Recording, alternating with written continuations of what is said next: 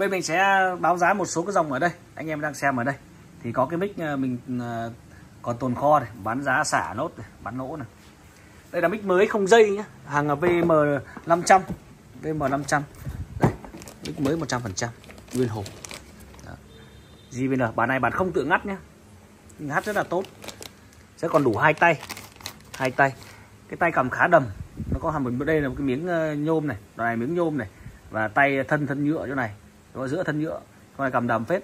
Giá thành bán cho một bộ này là một triệu hai nhé đang còn một một hay hai bộ thành lý nốt. Triệu hai bao ship luôn. À, năm 850 nói nhôm viền đồng một triệu tám một đôi bao ship. À, toàn giải 10 của Bi Sender 350 một đôi bao ship. Ở mic KTV giá bán một cái như này là 450 cái tay mic không dây tay mic là chưa có dây của đây là mic dây nhưng chưa có dây nhá.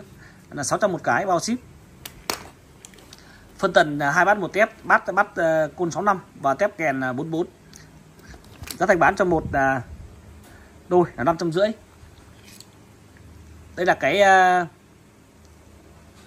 phân tần uh, chuyên trung M11 hai trăm rưỡi một đôi bao ship. À, tép kèn là uh, 450 giờ CF neo bi 900 một đôi bao ship. Neo uh, côn 38 JVN 248H này giá thành bán cho một à, đôi là một triệu mốt. Hàng China nha không phải Mexico nhá. Côn 38 neo khối. Neo khối 850 này. Giá thành bán cho một đôi này là 2 triệu bao ship bên trong nõi nhôm viền đồng. Đồng trục nó đồng trục cũng cả cả hộp này đây cái hộp ở đây. Bỏ anh em xem luôn này. Đây cái đồng trục nó nha. Mình đang bỏ nó vệ sinh. Đấy đồng trục như này. Đồng trục nhá không phải toàn giải chất lắm triệu sáu một đôi. Con này cực hay.